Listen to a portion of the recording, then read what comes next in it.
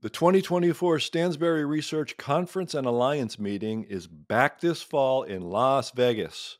And for the first time ever, they've extended their early bird discounted ticket pricing, which means if you reserve your seat today, you can save $450 off your ticket.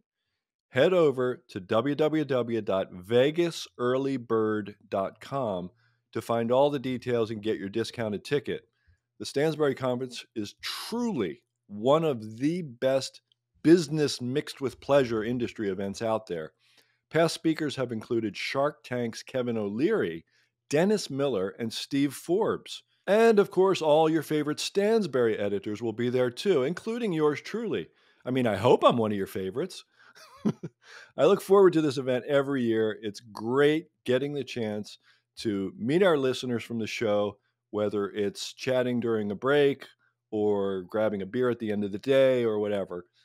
So I hope you're planning to join us. It's a great event. Go to www.vegasearlybird.com to get your discounted ticket before prices increase. That's www.vegasearlybird.com. So come on out and find me in Vegas and say hello.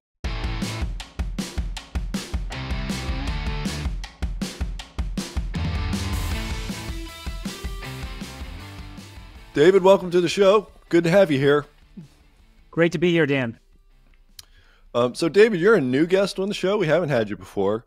So, I'm going to ask you my sort of, you know, canned first time question for guests.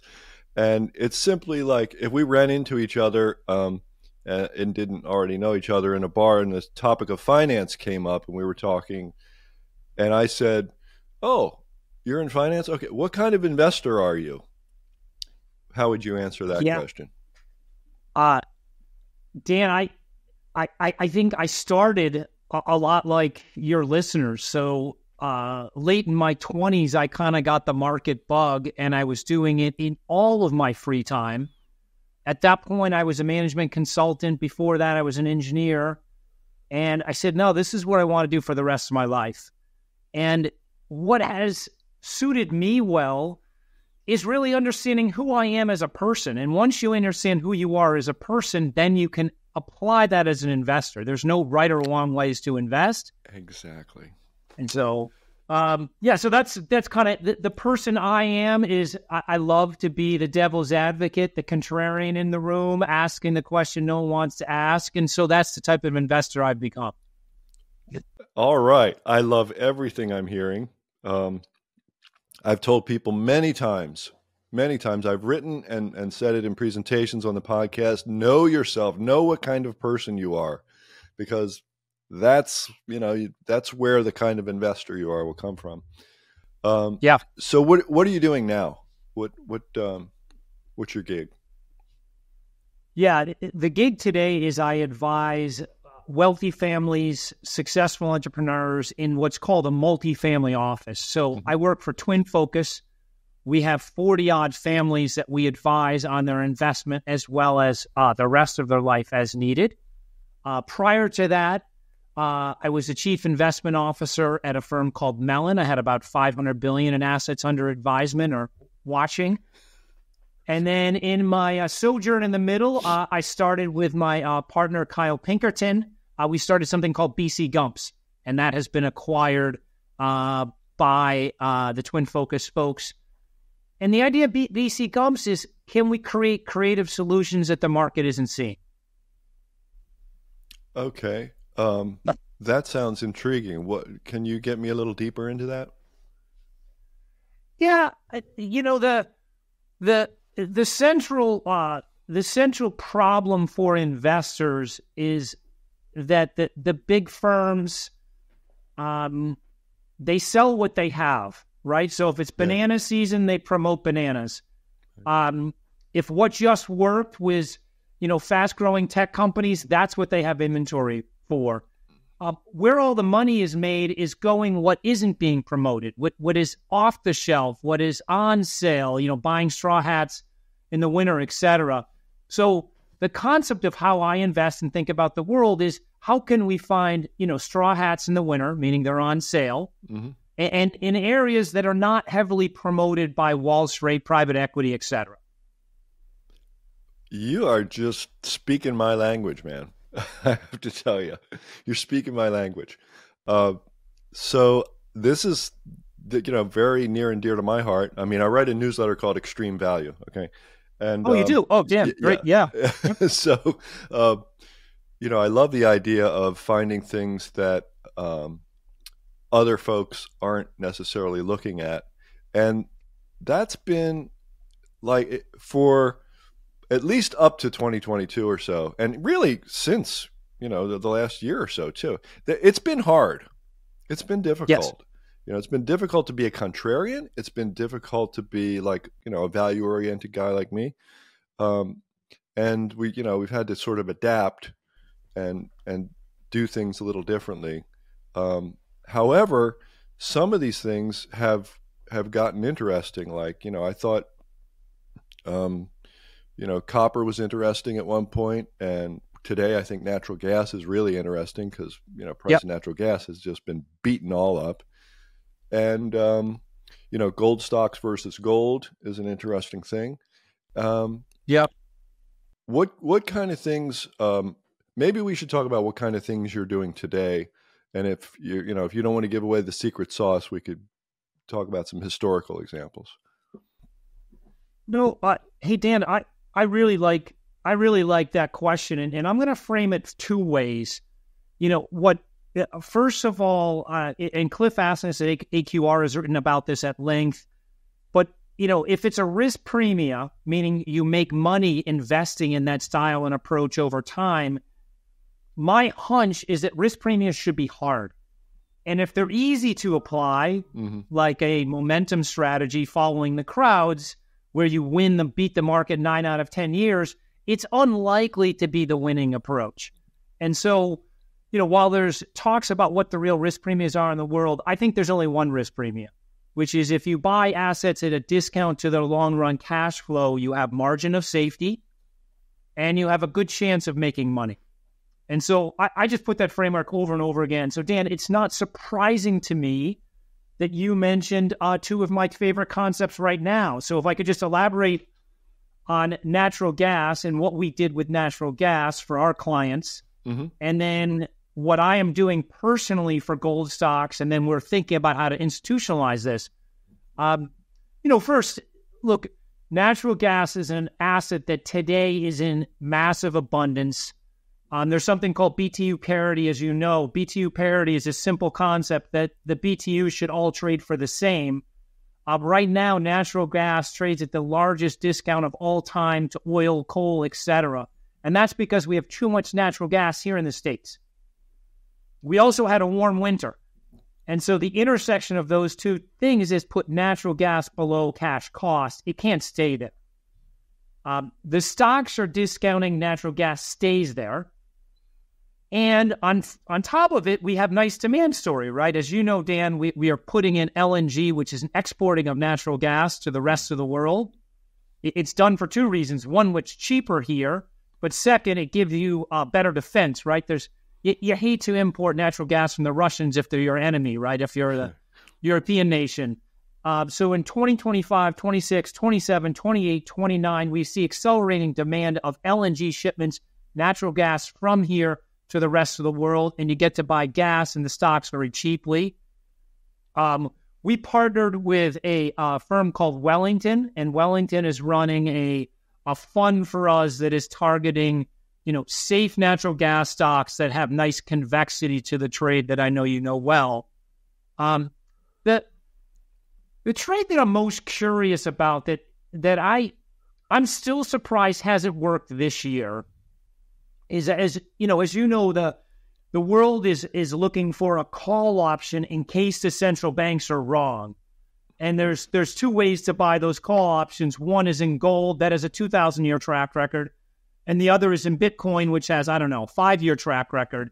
Um, I like the 2,000 year track records. There's nothing wrong with Bitcoin. I don't want to get hate mail on this, but to me, I like the history of gold as a store of assets. Seems to make sense to me. Mm-hmm. So so gold has moved up, I don't know, Dan, about 40% uh, in the last six months. Um, Yet the securities have not repriced that. So we can now get leading gold miners at some of the cheapest prices on records um, on, a, on a static gold price. Um, so I, I think the opportunity to make, you know, far better than equity like returns in the gold miners is as best it's been in probably 30 years, with or without gold appreciation. Right. Now, if we actually have gold appreciation, then you know you want to buy the the Canadian junior miners. It, if we don't have gold appreciation, you're probably better with the you know the two big ones, which are Barrick and Newmont. Right, which are which have.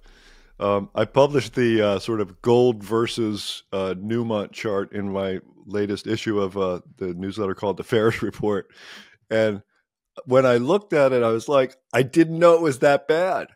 you know, it's it's horrendous. You know, it's just they're they're in, you know, two opposite directions.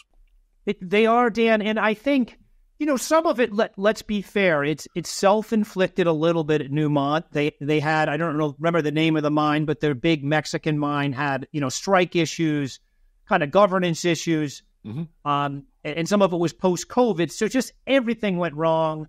Maybe they overpaid for their last couple acquisitions but but that's now been discounted in the stock. So you know you're you've got you know a four percent yield, which is probably going higher, um, which is very close to what you get on the long bond anyhow. And, and then you've got an asset where the earnings could accrete, let's say, at 20, 25% a year, which means a dividend can go up at 20, 25%, which we don't get from treasuries. I, boy, I, I, to me, it looks like one of the better risk rewards, you know, I have seen um, and there, what's what's fantastic is that there are way, ways to play it. You could just be, hey, I'm going to own the ETF. Um, if you understand security selection, you can find one or two winners inside of that group. And if you're really bullish on gold longer term, you know, just buy the junior miners, and and you know, three or four of them will probably be up four or five fold. Yeah, again, definitely speaking my language. Um, so, are you you personally? Uh, let me get this. I just want to get this straight. You personally have this strategy that you're doing for yourself, and you're trying to sort of roll it out to clients and institutions. Yeah, I think the better way to say it is um, we're the client's uh, right hand person when it comes to how they think about long run investing. Mm-hmm. Some of our clients are sophisticated investors, right? So you would know the firms; they were, you know, partners at leading firms. So you know, uh, we're we're really a tentacle for them.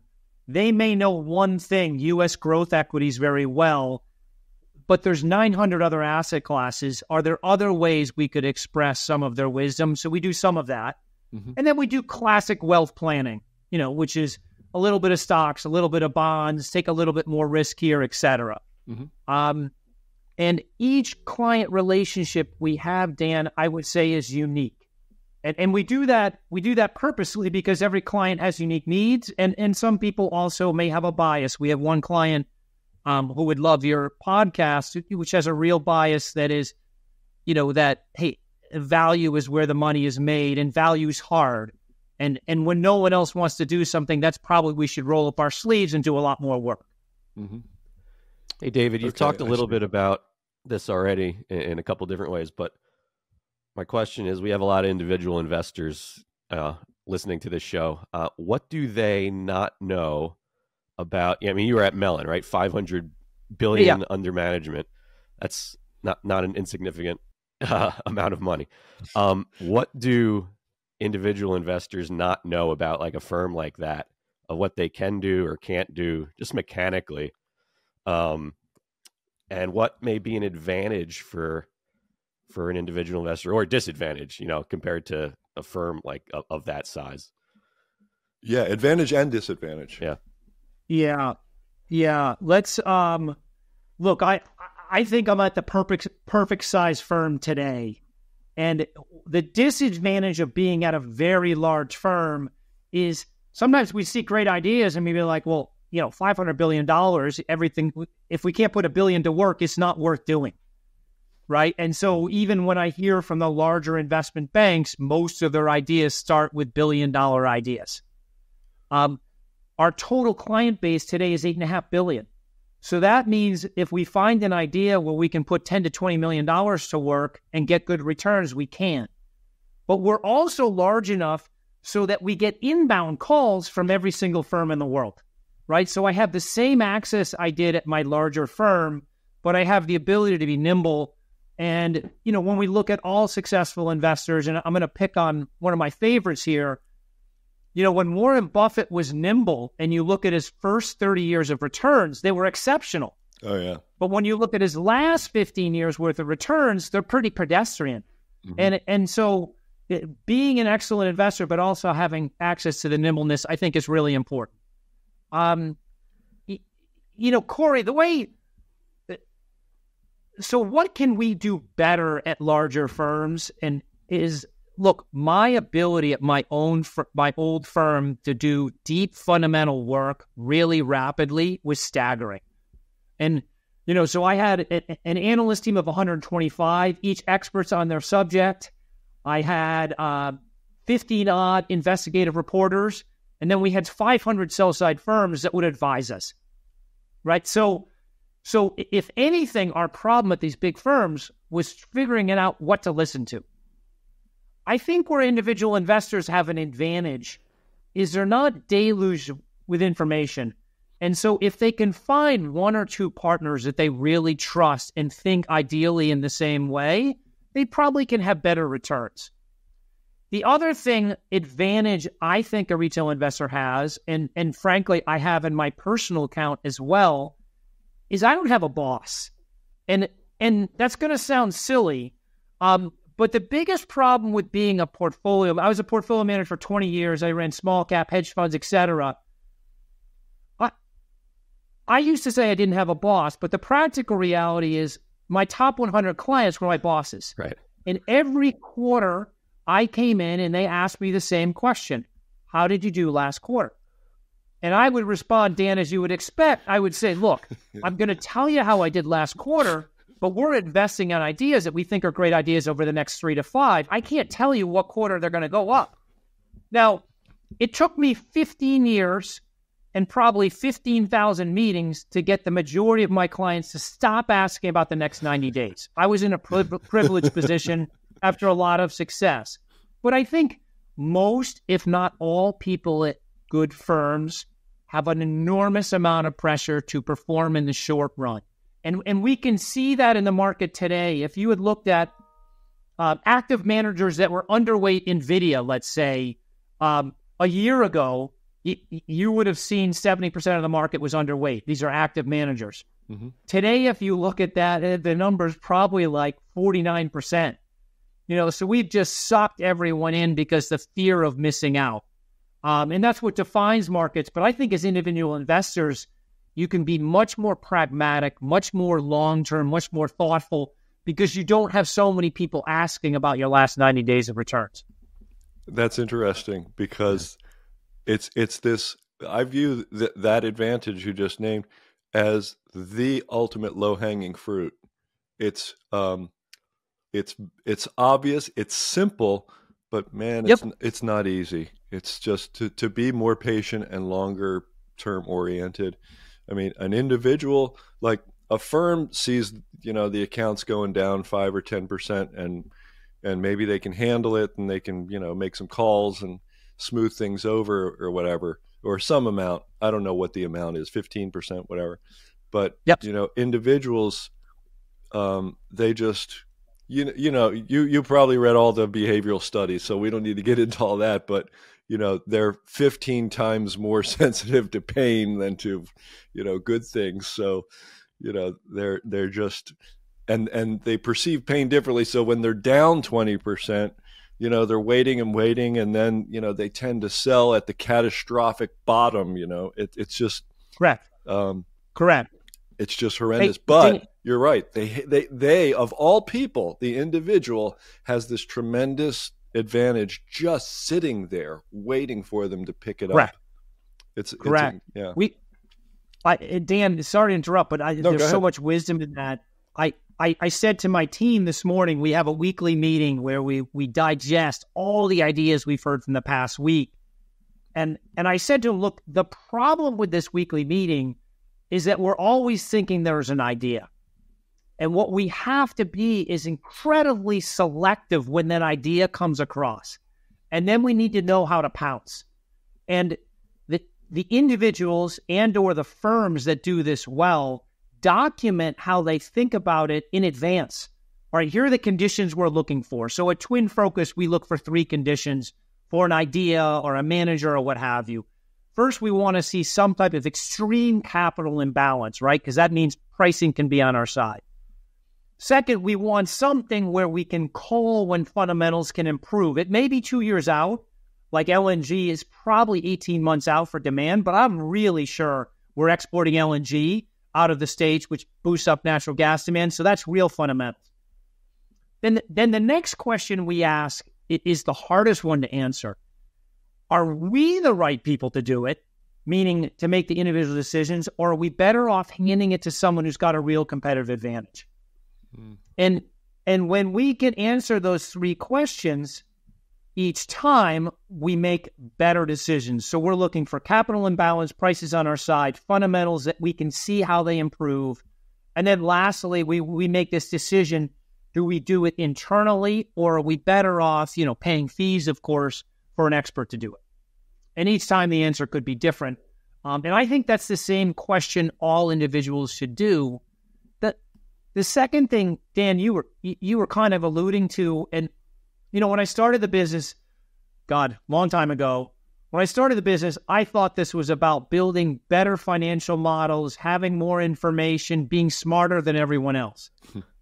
and now, 30 years later, I, am like, why didn't I take more psychology courses? Because this was really, as you alluded to, Dan, the business is about facts, but it's about how you interpret those facts and if you can train your ma- your mind to be more patient, to do more type 2 thinking, not type 1 thinking, Daniel Kahneman, who just passed away, right? All those things allow you to be more successful longer term.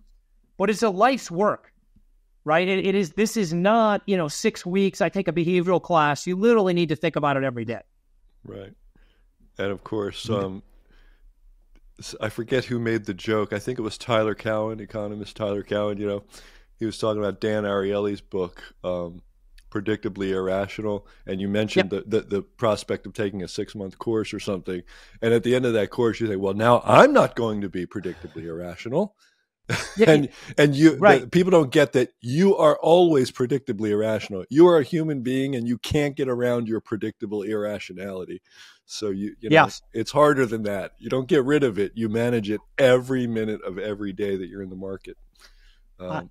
I, yeah, I, uh, you know, a hundred, a hundred percent. And we, well, what we're doing at TwinFocus, we did a lot more in our old firm because we, we just had so many people, but like really sharing what your intellectual biases are. And once you know that, you know, that, that's fine. It could be a good intellectual bias, could be a bad one, but like, let's then be selective inside of that. Right. And you know, for example, one of the biases I see today in our clients across the board is that all unique and breakthrough technology is a good idea. And the truth of the matter is, it's relatively rare and we should be selective. But we have this recency bias where it feels like a lot of good breakthrough tech ideas worked. And so there's this enormous recency bias that's built up for people. And I think that's why we probably have some crown jewels in the tech industry, but I think we've lifted up too many things simultaneously. There's only usually one or two great ideas at a given time. Yes, uh, that's right. It's the um, you know I call this like looking for the next Amazon, right? Everybody thinks they're going to find the next Amazon, and um, you know it's like one in you know a hundred thousand or something. I mean the, the, odds are so far against you. Like if you're not a if you're not a vc firm with you know 200 positions or whatever you're not gonna you have no hope of finding it. Yeah. And and don't you know like and and i i tell this story because it's just to me it's so shocking. Um we were a contrarian investor. It's it's 2004 i believe. You can fact check me corey but this is the day that Google came public. This is Google, right? At that point, they're growing EBITDA 100% year over year. Um, everyone knows they've kind of figured it out. Everyone knew who Google was. I'm sure Lycos was still around. Netscape was still stumbling. But like this was the winner. Google came public at 10 times next year's EBITDA. The skepticism in the room, I sat in the IPO room, was off the charts, right? And that was because most tech companies had, you know, overpromised and underdelivered for the better part of 10 years. So this comes to the capital imbalance question. I, I think, you know, not let's not forget Google was a great company. It's done very well, but there was an incredible amount of disbelief that you had to power through. We we've owned Apple in my predecessor firm we bought Apple 2001, 2, and 3. You could buy Apple at a discount to its net cash on its balance sheet. Right? So I, I didn't even need to know anything about the iPhone. I just needed to know the company wasn't going away. That's how much skepticism there was. And and so um, great investments are made when there's skepticism um, that abounds about the idea. And I do think, as an individual investor, you have the ability to see through the skepticism because you don't have so much noise raining on you about what consensus is. Dan, okay, Apple, so... Apple twenty in that time period reminds me of we are just talking biotech, right? Same, uh, yeah, uh, yeah, same thing yep. right now. Yeah, yeah. Did it? I, I, I, look, we have, you know, biotech's another great example. We we uncorked the human genome, Dan, give or take, in like 9, 10, 11. Mm-hmm. It, and you could buy in the public markets the leaders of the industry for nine times earnings. Right. So now it's consensus that we're, we're going to change the human genome. At that point, no one believed. And so, you know, those are the earth shattering moments you're looking for. Um, you know, when there's when there's there's kind of a disbelief because of the prior history of big pharma was pretty weak, right? They hadn't done that well. So they labeled these companies a big pharma with perfect hindsight they weren't, right? Right. Um, and of course, and we've talked a bit about the, the biotech situation. You know, there are like actual net nets, companies trading at yeah. actually serious discounts to net cash on the one hand, but on, on the other hand, as our guest and colleague and friend Dave Lashmet pointed out, like 6% of drugs make it through clinical trials. So, yes, you know, it's sort of like, I, I like, I have to liken it to, to buying like um, exploration mining stocks you know yeah. You, and i know people who have done this uh, with great success and run funds for 10 years that made like 55% CAGRs at it. So yep. um but all the money came from like you know five stocks in a portfolio of 100 i mean you know just yes. like stuff going a thousand to one and, and it's um, yeah. it ain't easy. It it isn't. It isn't. And i think the we we spent a lot of time looking at these uh, net net net companies you alluded to in biotech. I'm actually on the board of a public biotech company, so you know I know the I know the space. I know the odds very well. Um, I, I think there's two things going on. I, I think one, it's it's tough to govern these companies, and what I mean by that is if they have 400 million in R and D and a 200 million dollar R and D project in front of them, mm-hmm. if that 200 million fails, the management team's going to spend the next 200 anyhow. And and so it's a little harder to make, you know, to manage these things. I um but I I'm intrigued. I'm intrigued. I think there's a condition under which um you know, you have a really good call option and to your point, you probably need to own a dozen of them and maybe one or two are break even, one or two go up a ton and the others you you know, you ride down to zero. I think that's a winning approach. Um, for sure. And uh, look, the biotech analysts are no better at handicapping the odds of success than a random coin toss. That's right. So now they do after they're successful, they do pretty good job because they can they can size the served available market really well, and I think they're skillful at that, and many have proven that. But like, you know, pri- there's so much that goes wrong in the clinical to get to your six percent hit rate. Yeah. Yep. That's uh, and and I I love look as a as a um, you know guy who has studied Ben Graham and read yep. security analysis, like a net net is like wow, okay. But I so just rare. got yeah, it is rare. Actually, it's not rare. Is like they're there all the time, but you know, ninety nine percent of them are nothing you'd ever want to get anywhere near. Uh, and I got so used to like we had found a bunch of them um, in 2001, 2002. Like there were yep, decent yep. decent Tech ones companies. around. Yeah. Yep. And and uh, so I was like, wow, this is great. Of course, within a few years, like you, or actually just a couple years, like you couldn't find any decent ones anymore. It was back to the same old, same old. And uh, I just have gotten used to not even thinking about them. Like I haven't run a NetNet screen in I don't know how long, which is I, it's crazy for me. And and this, go ahead. Well, Dan, I'm going to ruminate on something with you here. Maybe it's a better signal of where the markets act with the sector and industry. So, you know, look, we had, I, I can think of three large net nets in my career.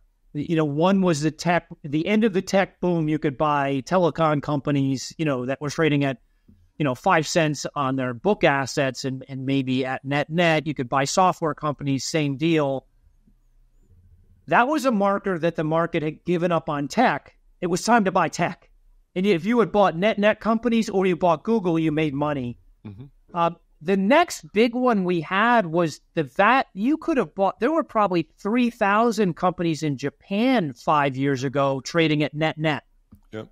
And and as you know, that market has really excelled, and value has worked in that market. So those comp- it was a good signal just to say, why not look at Japan because no one believes. Even the insiders don't believe, right? Right. And so maybe this the biotech marker might be that hey, no one believes in biotech. It's a good signal on, on how cautious everyone is.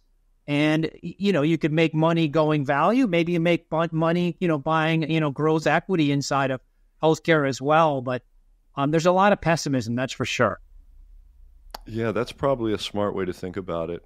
And to be fair about Japan, like you could have done it three or four times, you know, since 1989 or, or 1990 or so. Yeah.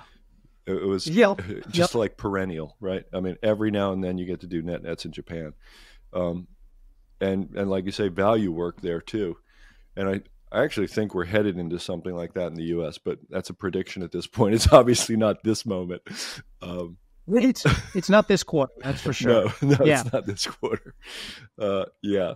So, um, you said something. I made a note here. Um, that just kind of went by, and I'm sure that my readers are probably going, "What does that mean?" And the term was capital imbalance. What, yeah. what, what did you mean by that? Yeah, I think it's easier to describe. You know it when you see it. Mm-hmm. All right. So let's talk about some we have in the market today. Um, uh, if you're long an office building today, um, you've got a, a note that's saying eighty dollars, but the business is only worth forty. The, the banks are hamstrung because they can't take more of this loan on their balance sheet. So there's an imbalance, meaning if you're willing to loan into that space, you've got an imbalance. Now, I, we could debate how long that's going to go on. The most obvious imbalance we see in the market today takes a little bit of a contrarian pull to it is that uh, in the energy sector today, because of ESG mandates, there's forced sellers. And, and and we're live at an opportunity today. It's it's actually what's called a GP led secondary, but there's a forced seller. It's a pension plan mm. that is having to sell their assets because they want their their statements to look like they have less fossil fuel, and that's depressing the asset below fair value. So we really like, you know, this concept of forced sellers. Um, and, you know, sometimes it's it sounds very value like.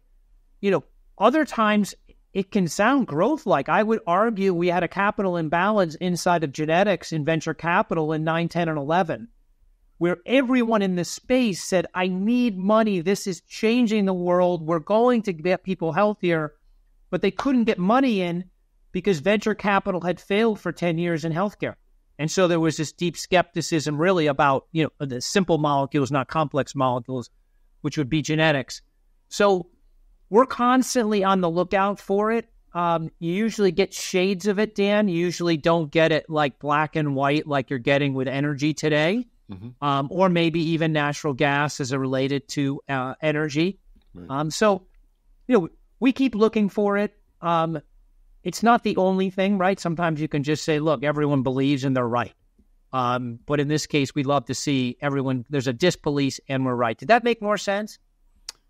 Yeah, actually, the um, the first example, I would I would kind of point my listener to that first example of the um, the commercial real estate property where the loans at you know whatever 80 or something and yep. and the values at 40 it's a you know there there there's a capital imbalance there for sure.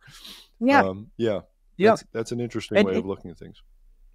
Yeah and you, it, it it doesn't mean um it doesn't mean you, you should or shouldn't invest because you want to know what the terms are and how far along you know that um that cycle was but mm-hmm. um you know look, I, I this one's fresh in my mind. Um, if, if you go back and read Amazon's press release in 2000, it was late 2000. The stock is down uh, about 80 percent. Mm. Bezos gets on the call and said, you know, he said we grew our gross profit, which at that point was the key metric. We grew it by 80 percent year over year. Um, the business is firing in all cylinders. We're continuing to invest. Um, but we're going to slow down capital because, frankly, we don't see the money coming, and it's going to be harder for us to raise capital than it was, you know, two years earlier. If you had just read that press release and not thought about anything else, you would have said to your, "That's the finest company in the world." The problem is you had all this noise around you, right? And so I would argue there was a capital imbalance in that good companies were not getting funded in 0102 in tech, despite you know near perfect financial statements. Um, so it doesn't have to always be in things that are you know really troubled. They could be performing well. Um, you know that skepticism is really important. But if you had, you know, and and and you can do this as an individual investor. So let's let's talk about my favorite TV character, Dan, which is Spock. And and what was what was so awesome about Spock was that he you know, everyone else was like, well, I feel this and I think this. And Spock would say, but here are the facts. The facts are Amazon grew their top line by 80%. You know, what right. does that really mean? How could we do that? If you can buy this at three times normalized profits, growing profits at 80%, Spock would say, go, let's go land on that continent or that planet. Mm-hmm. And and none of the history would have mattered. And and, and so I, I think the more we can get ourselves to think like, you know, kind of good Spock, not the not the mean spirited one, but really the one that was trying to get the captain and everyone to make good choices. I, I think we end up with better choices as humans. We do. Um, that uh, sort of ignoring history is hard for people, um, especially when it's been like right now. I think um, it's hard for people not to believe that all the big money they're ever going to make is in large cap tech stocks. You know, that's that's all they're ever going to need to do. they're yep. just find the next Nvidia, find the next Amazon, find the next whatever.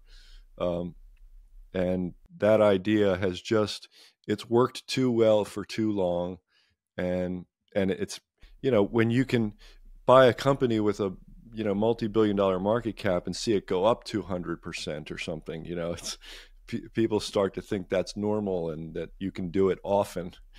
And uh, you know, I think th- I think they're going to learn otherwise, but maybe not. Like we said, maybe not this quarter. yeah, yeah. I mean, look, we um, the market is always trying to make the most amount of people wrong at any given moment. Yep. Um, let's say that statement's true. If that's true, this is the greatest consensus trade I've seen in my in my lifetime. Yep. We can we can measure this in flows. We can measure this in relative performance. Um, now, there's a good story behind it. Like all consensus items have good stories. The profit oh, yeah. growth in NVIDIA is incredible. Yep. So, look, there is a good story. I understand the story, but it is at this point, you know, very much, uh, very much in consensus, and that would make me nervous. Um, yeah. At least starting to like, you know, put the, at least take the foot off the gas and and at least start to say, hey, look, is there some place you know we can go better? And, and like you know where we led the call, boy, to me, owning a few gold miners, you know, that are yielding four with fifteen percent returns on capital, kind of makes sense to me. Mm-hmm. Um, you know, as a way to barbell the portfolio. Yeah, absolutely. Um, but and you know, to your point, like bubbles are rooted in reality. They just go way too far. Sure. Um, yeah. Right. So we yeah. are we are at our, uh, our point where we ask our final question, and it's the same question for every guest. Like no matter what the topic, even if it's yeah. a non-financial topic, which it is occasionally, exact same question, and that okay. is simply if you could leave our listeners with a single thought today, what would it be? What would you like it to be? If I could have told myself one thing when I started this profession 30 years ago. So, 30 years, every single day, tens of thousands of management meetings, um, literally building maybe 100,000 models, having teams build it for me, working with some great investors, getting to, you know, I met Charlie Munger before he passed away. I think there's one thing I would have spent more time on, and it was where your questions were going, Dan, which is, you know, understand how you feel, how your own humanness, you're a sapien, how that interferes with your good decision making. And and it could be something as simple as just going to your closest friends. You can do it tonight. I, I always use my spouse, Christina, and I just say to Christina, I go, Can you tell me what my biases are? Uh, like, you, you know how I think about politics. You know what I'm looking at. Where, where do you think my biases are? And, and then really just write them down, understand them. And some of those are winning attributes. Others of those are maybe going to, like, I'm probably a contrarian too often, mm. right? So I need a checklist that slows me down from being a contrarian. And that's fine. That's that's who I am. So that I know that not every contrarian idea is the right one. Sometimes the market's right. Um, so it took me 30 years to figure it out that my psychology classes were maybe more important than my finance 101 classes. As we all do, the market forces that knowledge and wisdom upon you, doesn't it?